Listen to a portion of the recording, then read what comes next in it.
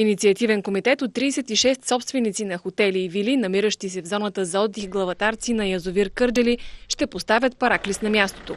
Конструкцията е дело на бургаска фирма, а начинанието е одобрено от Светия Синод.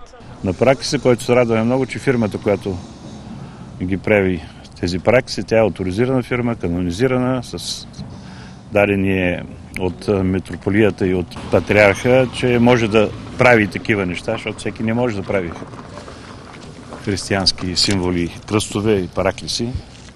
Поръчах ми, което е много радващо, че в рамките на месец и половина, два, параклиса беше готов във вид, който сега в момента го виждаме и на който му се радваме.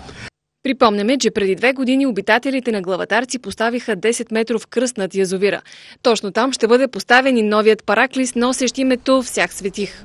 Първият храм, който дигаме от толкова години насам, след много перипетии, две години вече и половина откакто дигнахме кръста, имахме нагласата по най-бързия начин да направим и параклиса там на мястото на кръста, където е над село Главатарци.